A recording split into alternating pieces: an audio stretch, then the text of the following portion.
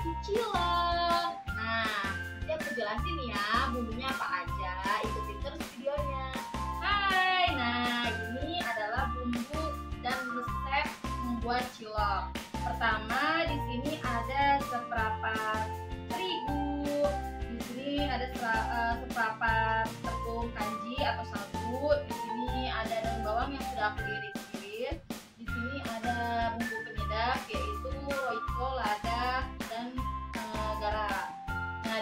Juga aku sediain ada segelas air hangat yang masih mendidih. Di sini ada baskom sama sendok.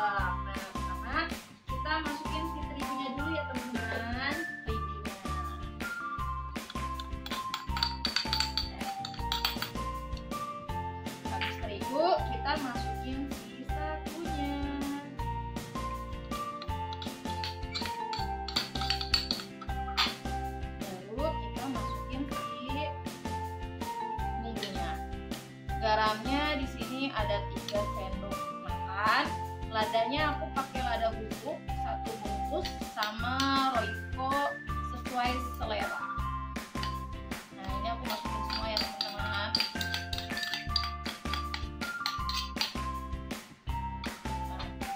Sebelum kita masukin daun bawang, kita aduk-aduk dulu si bumbunya biar si bumbunya ini sama terigu sama sagunya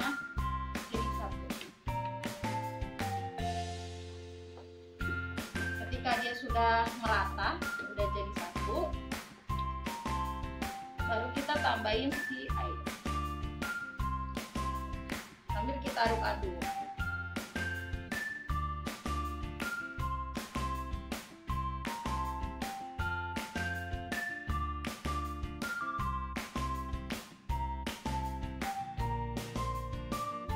Nah, ini kan udah diaduk-aduk nih teman-teman,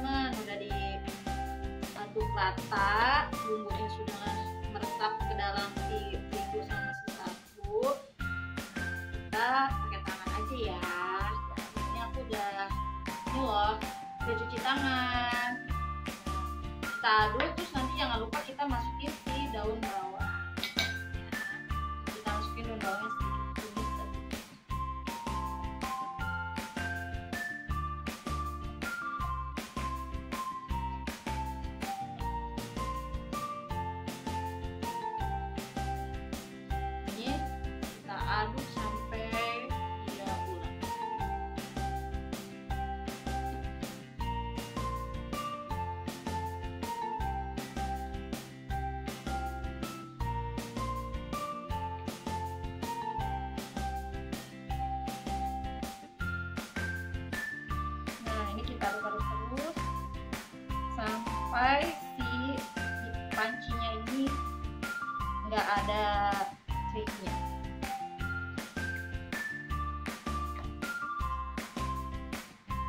Benar-benar dia sudah rata nanti baru kita bikin. Bulat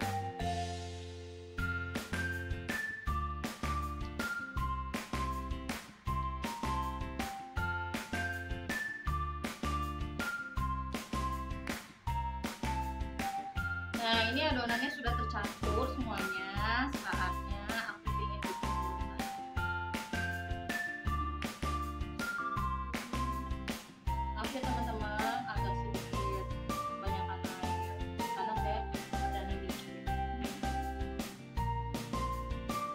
Kita bulat-bulatin aja seperti kayak bikin Tapi sebelum kita bulat-bulatin tangannya kita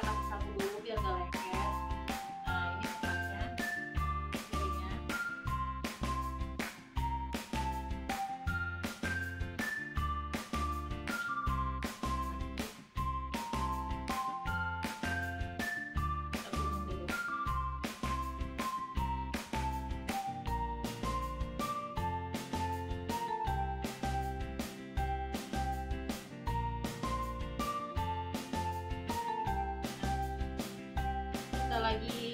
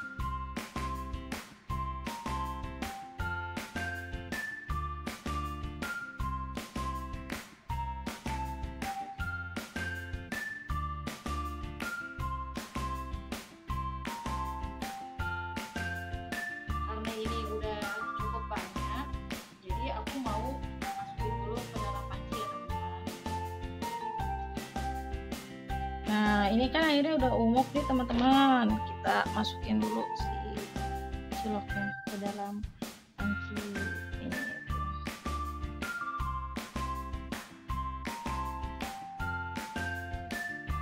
Sambil kita uletin lagi karena ini udah udah dijadiin adonan jadi lengket. Nah biar nggak lengket si pancinya ini kita kasih minyak dulu ya teman-teman. Ya kita masukin.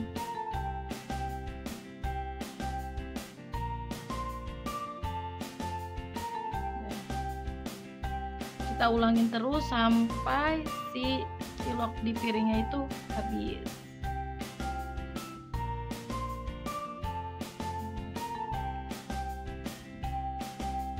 Teman-teman boleh ikutin nih di rumah dijamin kok rasanya enak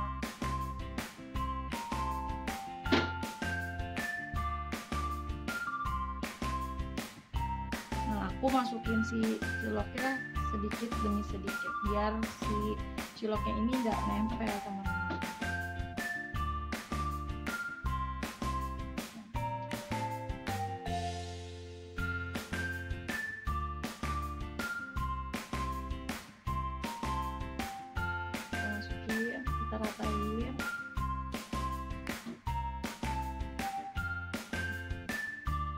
Kalau dia udah mateng ciloknya ini bakalan naik ke atas. Itu tandanya dia sudah matang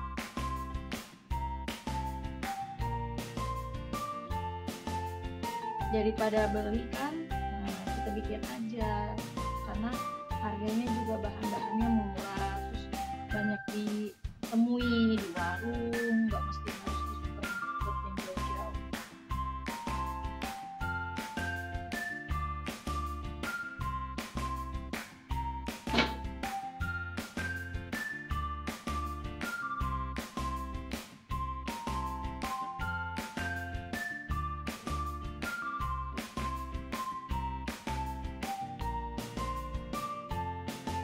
Nanti kalau ciloknya sudah dimasukin semua ke dalam panci, ini bisa kita kita bisa aduk.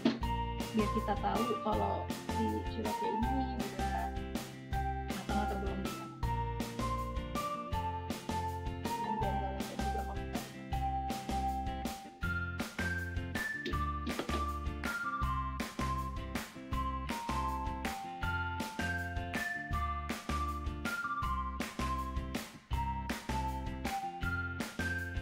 Nah teman-teman ini udah semuanya aku masukin tinggal satu ya kan? Nih airnya juga udah mendidih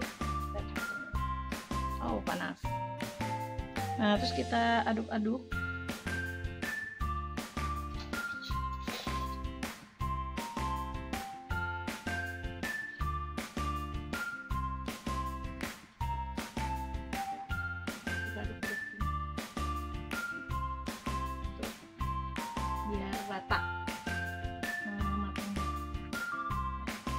kalau udah kayak gini kita tinggal tunggu aja teman-teman. Aduknya juga pelan-pelan takut hancur si ciloknya walaupun sedikit seperti kayak bakso ya teman-teman. Maklum lah eh, pertama apa pertama baru bikin. Tapi rasanya dijamin enak kok. Nah kalau aku biasanya bikin cilok ini enggak pakai bumbu kacang karena kan bumbu kacang ribet ya jadi aku pakai kecap saus gitu, gitu aja teman-teman. Kita tunggu dulu ya. Kira ciloknya ini matang setengah jam jadi lumayan lama jadi lebih baik kita tunggu. Tapi sering sering mungkin kita lihat. Kita tunggu ya teman-teman. Si cilok ini mateng jangan lupa ya ikutin terus videonya. Dadah udah direbus ya teman-teman. Sekarang mau kita dulu si cilok nih bikinnya tuh. Tuh. kita tuang terus sampai si ciloknya habis. Nah ini udah kita tuang semua si ciloknya kita tunggu dulu ya kita fokus sebentar aja 15 menit. Karena ini juga ciloknya udah matang ini mau aku tutup dulu ya di ciloknya biar cepet matang. Hmm si ciloknya. Bisa dilihat kan? Nah aku mau cobain si ciloknya pakai saus